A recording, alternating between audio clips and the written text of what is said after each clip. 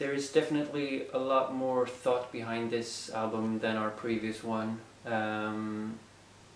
all of the songs are written during a, a, period of two years, and we started writing the songs almost immediately after we recorded um, The Big Sleep Upon Us. Um, I think we all knew that af after the, the previous recording or the previous album, we um, kind of knew what we uh, really wanted us to, to sound like and, and what we wanted out of uh, recording and playing music. Um, we spent a lot of time together in the rehearsing room discussing and trying out new things and trying to find a kind of a feeling and a sound that we think is uh, trophies um, and we or at least I am uh, really pleased with, with the results